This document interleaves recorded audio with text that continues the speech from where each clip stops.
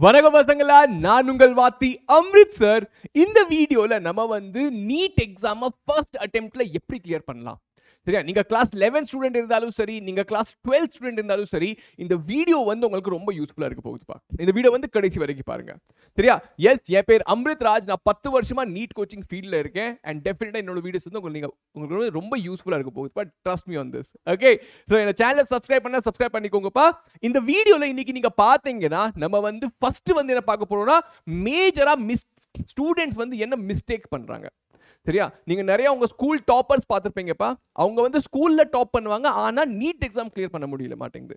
ஏன்? ஸோ அந்த வந்து மேஜர் மிஸ்டேக் ஸ்டூடெண்ட்ஸ் வந்து என்ன மேஜர் மிஸ்டேக்ஸ் பண்றாங்க அதை பார்க்க போறோம். ரெண்டாவது பார்த்தீங்கன்னா என்ன ரீசோர்ஸஸை யூஸ் பண்றது? எந்த புக்கை யூஸ் பண்றது? எந்த மாடியூலை சால்வ் பண்றது? எந்த வீடியோஸை பார்க்குறது? அதை பத்தி பார்க்க போறோம். தேர்ட் பார்த்தீங்கன்னா நம்ம வந்து என்ன ஸ்டெப்ஸ் ஃபாலோ பண்ணணும்ப்பா சரியா?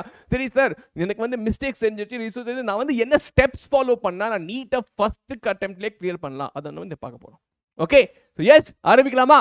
பர்ஃபெக்ட்பா ஸோ ஃபஸ்ட்டு வந்து why student fail in NEET exam சரியா? ஏன்னு பார்த்தீங்கன்னா பசங்க வந்து ஸ்டார்டிங்லேருந்து படிக்க மாட்டாங்கப்பா. சீரியஸாக இருக்க மாட்டாங்க. ஃபார் எக்ஸாம்பிள் கிளாஸ் டென்த்லேருந்து லெவன்த்துக்கு வர்ற பசங்க என்ன பண்ணுவாங்க? கொஞ்சம் ஃப்ரீடம் கிடைக்கும் அவங்களுக்கு. அவன் இல்லையா? டென்த்தில் வந்து நிறைய படிச்சிருப்பாங்க போர்டு எக்ஸாம் வச்சிருப்பாங்க லெவன்த் வந்தோடனே கொஞ்சம் ஃப்ரீடம் மாதிரி கிடைக்கும் அவங்களுக்கு.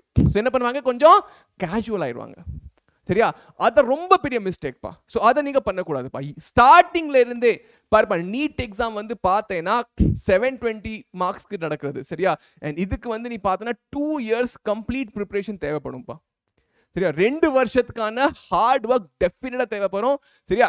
நீ வந்து ஒன் இயர் படிக்கலைன்னா நெக்ஸ்ட் இயர் அதை கவர் பண்ண நினச்சேன்னா பண்ணலாம். ஆனால் அது வந்து ரொம்ப கஷ்டமாயிரும். நீ ஸ்டார்டிங்ல இருந்தே கொஞ்சம் கொஞ்சமா பண்ணிட்டே இருந்தேன்னா டெஃபினட்டா உன்னோட சான்ஸ் வந்து அதிகமாயிரும். ஓகே அப்பா ஸோ ஃபர்ஸ்ட் வந்து சீரியஸா இருங்க. சரியா? நீங்க வந்து கடைசியில படிச்சு கிழிச்சிருவோம்னு நினைச்சீங்கன்னா அது நடக்காது. ஸ்டார்டிங்ல இருந்தே படிக்க ஆரம்பிக்கணும். ஓகே சரி சார் ரெண்டாவது மிஸ்டேக் நீங்க பாத்தீங்கன்னா நிறைய பசங்க வந்து டிஃபிகல்ட்டி அதிகமாக இருக்குது சார் பாட்னி எனக்கு புரிய மாட்டேங்குது. சரியா? ஃபிசிக்ஸில் சில சாப்டர் வந்து தெரியவே மாட்டேங்குது. எப்படி சால்வ் பண்ணவே தெரிய மாட்டேங்குது. என்ன பண்ணுவாங்கன்னா focus on the difficult chapter தெரியாத சாப்டர் மேல நிறைய ஃபோக்கஸ் பண்ணுவாங்க தெரிஞ்ச சாப்டர் மேல ஃபோக்கஸ் பண்ண மாட்டாங்க.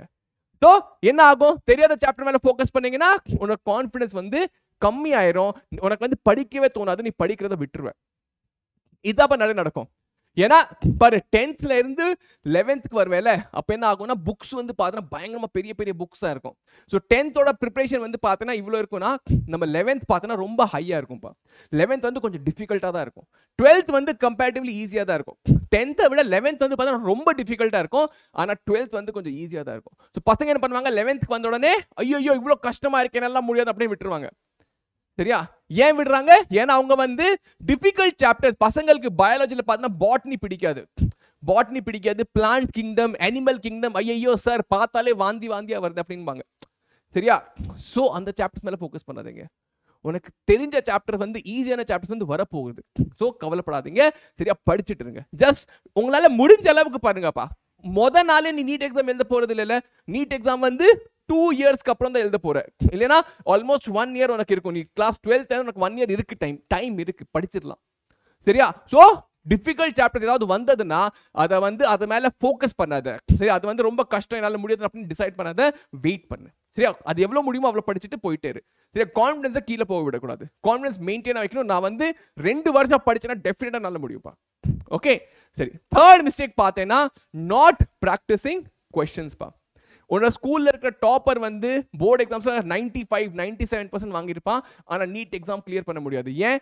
ஏன்னா அவன் வந்து கொஷின் ப்ராக்டிஸ் பண்ணியிருக்க மாட்டான். நீட் எக்ஸாம் என்ன கொஷின் வரும்? நீட் எக்ஸாமில் மல்டிபிள் சாய்ஸ் கொஷின்ஸ் வரும்ப்பா சரியா? போர்டு எக்ஸாம்ஸில் சப்ஜெக்டிவ் கொஷின்ஸ் வரும். சப்ஜெக்டிவ்னா என்னது? ஒரு ஒரு கொஷின் கொடுத்துருப்பாங்க. அதை வந்து three words or one fifty words or two hundred words எழுதுற மாதிரி வரும்.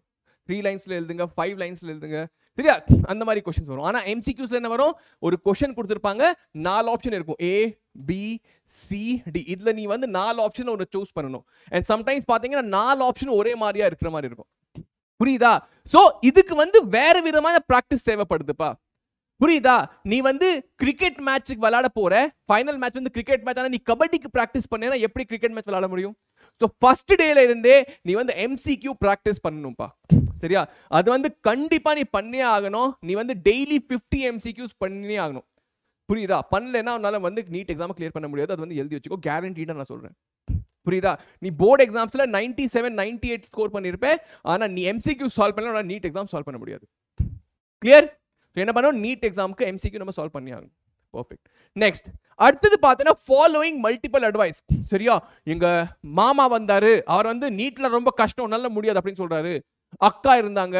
அவங்க வந்து இதெல்லாம் ரொம்ப கஷ்டப்பானால முடியாது அப்படின்னு சொல்லுவாங்க. அவங்க பேச்சுல கேட்கவே வேண்டாம்.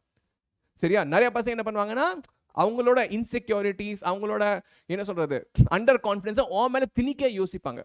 அதை விடாதப்பா. சரியா? அவங்களால முடியல ஏன் முடியல? ஏன்னா அவங்க வந்து ஹார்ட் ஒர்க் பண்ணல சரியா? சரியா? ஸோ அதனால அவங்க வந்து ஒன்னே ஒன்னாலையும் ஒன்னையும் பண்ண விடாம தடுக்க ட்ரை பண்ணுவாங்க. புரியுது? ஏன்னா நீ பண்ணிட்டேன்னா அவங்க வந்து இலக்காரமாக போயிடும் அவங்க வந்து கீழே வந்துருவாங்க. புரியுதா? ஸோ யாராவது டிஃபிகல்ட்டாக சொன்னால் அவங்க பற்றி கேட்கவே கேட்காத. உனக்குள்ள சவுண்ட் வருதா? என்னால் முடியும் அப்படின்னு வருதா? டெஃபினட்டாக நீ வந்து நீட் எக்ஸாம் அட்டென்ட் பண்ணுப்பா. உன்னால் டெஃபினட்டாக முடியும். மற்றவங்க பேச்சை கேட்காதப்பா. சரியா? சூஸ் அ மென்டர் சரியா? ஒரு மென்டரை சூஸ் பண்ணிக்கோ. ஒரு செட் ஆஃப் டீச்சரை சூஸ் பண்ணிக்கோ. அவங்க சொல்கிறத அப்படியே கண்ணை மூடிட்டு கேளு. டெஃபினட்டாக நீ வந்து நீட் எக்ஸாமை கிளியர் பண்ண வைப்பா சரியா? புரியுதா? நீ உன்னால் நீட் எக்ஸாம் கிளியர் பண்ண முடியுமா? முடியாத? எப்படி நான் அது அது ஃப்ரண்ட்ல சொல்ல போறேன் கவலைப்படாத. ஐ வில் டெல் யூ ஆனால் யார் பேச்சை நெகட்டிவ் பேச்சை கேட்காதப்பா. உன் ஃப்ரெண்ட்ஸ் சொல்கிறான் ஐயோ அதெல்லாம் ரொம்ப கஷ்டமாக இருக்கும்டா. ஏ நம்மளால முடியாதுப்பா. அந்த ஃப்ரெண்ட்ஷிப்பே கட் பண்ணிடு அந்த மாதிரி ஃப்ரெண்ட்ஷிப்பே வேண்டாம். புரியுதா? நெகட்டிவிட்டா நெகட்டிவாக யாராவது பேசினாங்களா அவங்ககிட்ட வந்து பேச்சுவார்த்தையை நிறுத்திடுங்க சரியா? ட்ரஸ்ட் மீப்பா நீ மேலே போகிறத வந்து பார்க்க தடுத்து நிறுத்துறதுக்காக நிறைய பேர் வருவாங்க. ஆனா நீ உங்க பேச்சை கேட்கக்கூடாது. என்னால முடியும். உங்க டீச்சர்ஸ் பேச கேளு. சரியா? உன்னோட டீச்சர் பேச்சை கேளு. யாராவது நீட் எக்ஸாம் கிளியர் பண்ணிருக்காங்கன்னா அந்த அண்ணா பேச்சை கேளு. சரியா? மத்தவங்க பேச்செல்லாம் கேட்காத. வேலை வெட்டி இல்லாமல் இருப்பாங்கல்ல அவங்களாம் வந்து இந்த மாதிரி தான் சொல்லுவாங்க. அவங்க பேச்சை கேட்காத. சரியா? Focus on your thing and trust மீப்பா அந்த ஃப்ரெண்ட்ஷிப்பை கட் பண்ணிடு ப்ளீஸ் நீ நீட் எக்ஸாம் ப்ரிப்பேர் பண்ணுறேன்னா ஃப்ரெண்ட்ஸ் நீட் எக்ஸாம் ப்ரிப்பேர் பண்ண அந்த ஃப்ரெண்ட்ஷிப்பை கட் பண்ணிடு ஏன்னா நீ ப்ரிப்பேர் பண்ணிட்டுருக்கேன். அவன் ப்ரிப்பேர் பண்ணல. அவன் வந்து உன்னை திருப்பி திருப்பி வந்து டிஸ்டர்ப் பண்ணுவான். ஏ வா இங்கே போகலாம் அங்கே போகலாம் அப்படிமா சரியா? So be friends with people who are preparing for NEET exam okay very important சொல்லுவாங்கல்ல உன்னோட உன்னோட சரௌண்டிங் பசங்க வந்து உன் உன் அளவுக்கு மோட்டிவேட்டடாக இருக்கணும். இல்லைன்னா நீயும் வந்து என்ன ஆயிடுவ? டிமோட்டிவேட் ஆயிடுவேன் ஓகே சரிப்பா. அடுத்தது. நெக்ஸ்ட் பாயிண்ட் பார்த்தீங்கன்னா சார் என்ன ரீசோர்ஸஸை ஃபாலோ பண்ணலாம்? என்ன மாதிரி ரீசோர்ஸஸை ஃபாலோ பண்ணலாம்? ஃபர்ஸ்ட் பார்த்தேன்னாப்பா ஒரு சீ டீச்சரை choose பண்ணிக்கோப்பா. Who you can trust blindly சரியா? ஒரு டீச்சர் ஒரு செட் ஆஃப் டீச்சர் பிசிக்ஸ்க்கு கெமிஸ்ட்ரிக்கு பாட்னிக்கு ஜூலாஜிக்குப்பா சரியா? நிறைய டீச்சர்ஸ் இருக்காங்கப்பா. சரியா? யூடியூப்ல கூட இருப்பாங்க. இல்லைன்னா கோச்சிங்ல வந்து டெமோ கிளாஸ் இருக்கும். அங்க போய் அட்டென்ட் பண்ணுங்க. உனக்கு வந்து புரியும். இந்த டீச்சர்ஸ் கூட எனக்கு புரியுது. அப்படின்னு அந்த டீச்சரை வந்து பார்த்து ஃபிக்ஸ் பண்ணிக்கோப்பா. சரியா? அந்த டீச்சர் என்ன சொல்கிறாங்களோ அதை வந்து கண்ணை மூடிட்டு ஃபாலோ பண்ணு. நிறைய பசங்க என்ன பண்ணுவாங்க? ஓவர் ஸ்மார்ட் பண்ணி பத்து டீச்சரை ஃபாலோ பண்ணுவாங்க. ஒரே சாப்டர் பத்து தடவை படிப்பாங்க. அதெல்லாம் நமக்கு தேவையில்லை. ஒரு டீச்சரை சூஸ் பண்ணோமா? ஸ்டார்டிங்லேருந்து எண்டு வரைக்கும் அவங்கள வந்து நம்ம ஃபாலோ பண்ணணும். கண்ணு மூடிட்டு. ரெண்டாவது என்ன புக்கை யூஸ் பண்ணுறது திருப்பி திருப்பி சொல்லிட்டு இருக்கப்பா என்சிஆர்டி தான் புக்கை நம்ம வந்து யூஸ் பண்ணணும். ஃபஸ்ட்டு பெஸ்ட் புக் வந்து நம்ம என்சிஆர்டியை சூஸ் பண்ணோம் சரியா? என்சிஆர்டியில் வந்து பயாலஜியில் பார்த்தீங்கன்னா எல்லா கொஷனும் வந்து பார்த்தீங்கன்னா என்சிஆர்டில இருந்து லைன் பை லைன் வருதுப்பா. ஈவன் கெமிஸ்ட்ரி ஃபிசிக்ஸ் பார்த்தீங்கன்னா எல்லாமே என்சிஆர்டியில் இருக்குப்பா. ஓகே பசங்க வந்து என்ன பண்ணுவாங்க? பத்து புக் வாங்கி வச்சிருப்பாங்க. ஆனால் ஒன்று கூட படிக்க மாட்டாங்க. நான் என்ன சொல்றேன்? என்சிஆர்டி நல்லா படிப்பா. அதுவும் இல்லாமல் யூடியூப்ல பார்த்தா நிறைய வீடியோஸ் இருக்கு. சரி அதுவும் இல்லாமல் நீ கோச்சிங் ஜாயின் பண்ணிருக்கேன் கோச்சிங்ல டீச்சர் சொல்லி கொடுக்குறாங்களே அவங்க நல்லா சொல்லி கொடுத்துருப்பாங்க அவங்கள ஃபாலோ பண்ணு. ரெஃபரன்ஸ் புக் இந்த தடி மாடி மாதிரி புக்ஸ்லாம் தேவையில்லை ஜஸ்ட் வை என்சிஆர்டி இன்னொன்று வந்து பார்த்தீங்கன்னா ஒரு கொஷன் பேங்க் வாங்கிக்கோப்பா. சரியா? என்சிஆர்டி தவிர ஒரு கொஷன் பேங்க் வாங்கிக்கோ. சரியா? என்சிஆர்டி படிச்சு ஒரு சாப்டர் முடிச்சியா? அதுக்கப்புறம் அதோட கொஷன் பேங்க்ல எம்சிக்யூ நான் சொன்னல எம்சிக்யூ அந்த எம்சிக்யூ நீ வந்து சால்வ் பண்ணணும். புரிஞ்சுதா? இன்னொரு விஷயம். இன்னொரு விஷயம். நீ வந்து நோட்ஸ் பண்ணணும்ப்பா சரியா?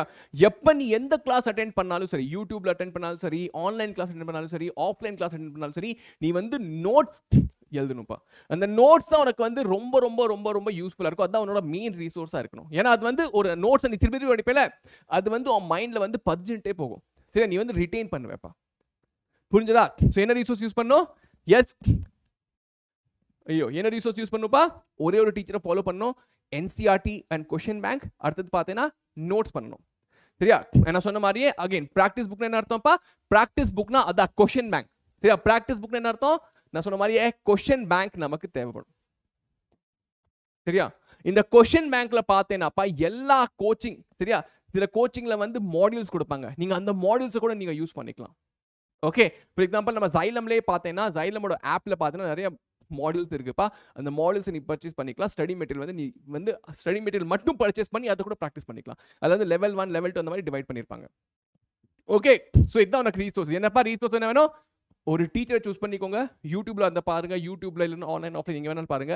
அது இல்லாம கொஷின் பேங்க் உனக்கு ஒன்று தேவைப்படும். அண்ட் அது இல்லாமல் நோட்ஸ் உன்னோட சொந்த நோட்ஸ் சரியா? நோட்ஸ் எழுதாம இல்ல நிறைய பேர் என்ன பண்ணுவாங்க?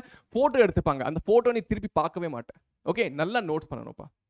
ஓகே புரிஞ்சுதா? அண்ட் ப்ராக்டிஸ் பண்ண கொஷின் பர்ஃபெக்ட் சார் தேர்ட் பார்த்தீங்கன்னா சார் இதெல்லாம் புரிஞ்சிருச்சு. இப்போ ஸ்டெப்ஸ் என்னப்பா? ஸோ ஃபர்ஸ்ட் ஸ்டெப் வந்து நீ பார்த்தேனாப்பா நீ வந்து சிலேபஸை போய் பாரு. சரியா? நீட்டோட சிலேபஸை பாரு. நிறைய பசங்களுக்கு வந்து சார் நான் நீட் எழுதலாமா? இல்லை இன்ஜினியரிங் படிக்கலாம்? எனக்கு தெரியாம இருக்கு. அந்த மாதிரி இருந்தேன்னா ஃபர்ஸ்ட் வந்து நீ வந்து என்ன பண்ணும் நீட் சிலேபஸை பாரு. சிலேபஸை பார்த்தோன்னா எனக்கு புரியும். என்ன மாதிரி சாப்டர்ஸ் இருக்கு? அந்த சாப்டர் என்னால் கிளியர் பண்ண முடியுமா? முடியாது. எனக்கு இன்ட்ரெஸ்டிங்காக இருக்கா? இல்லையா? அதுவும் எனக்கு தெரியும். சரியா? ரெண்டாவது ஸ்டெப் ரெண்டாவது ஸ்டெப் பார்த்தேன்னா பிவை கியூஸ் பாருப்பா. பிவை கியூஸ்னா நீட் டுவெண்ட்டி டுவெண்ட்டி ஃபோரோட பேப்பரை பாரு டுவெண்ட்டி டுவெண்ட்டி த்ரீயோட பேப்பர் டுவெண்ட்டி டுவெண்ட்டி டூவோட பேப்பர் இந்த பேப்பர்ஸ்லாம் பார்த்தேன்னா உனக்கு உள்ளுக்குள்ளேருந்து ஒரு சவுண்ட் வரும். என்னால் முடியும்ப்பா ஈஸியாக தானே இருக்கு. நான் படிச்சது தானே இருக்கு. என்னால் முடியும் அப்படின்னு ஒரு சவுண்ட் வரும். அந்த ஃபீலிங் வரது வந்து ரொம்ப இம்பார்ட்டன்ட்ப்பா வேற அடுத்தது என்ன பண்ணும் அடுத்தது வந்து டாப்பர் வீடியோஸை பாருப்பா. ஃபார் எக்ஸாம்பிள் டுவெண்ட்டி டுவெண்ட்டி த்ரீல பார்த்தேன்னா பிரபஞ்சன் ஒரு பையன் சென்னை பையன். அவன் வந்து ஆல் இந்தியா ரேங்க் ஒன் அடிச்சான். சரி அதே மாதிரி பார்த்தா நிறைய ஸ்டூடெண்ட்ஸோட வீடியோஸ் இருக்கும். இப்போ யூடியூப்ல டாப்பர்ஸ் அவங்கள பார்த்த உடனே எனக்கு தோணணும். ஏய் இவனால பண்ணியிருக்கானா இவன் இவனால பண்ண முடியும்? என்னால் டெஃபினட்டாக பண்ண முடியும். அவங்க வந்து அதில் சொல்லுவாங்க அவங்க எவ்வளோ மணி நேரம் படிச்சாங்க? சரியா? எப்படி கோச்சிங் போனாங்க? எப்படி நோட்ஸ் பண்ணாங்க? என்ன புக்ஸை யூஸ் பண்ணாங்க? சரியா? என்ன மாதிரி கொஷின்ஸ் ப்ராக்டிஸ் பண்ணாங்க? அவங்க எல்லாமே டிசைட் சொல்லுவாங்கப்பா சரியா? எயிட் டு டென் ஹவர்ஸ் படிக்கணுமா?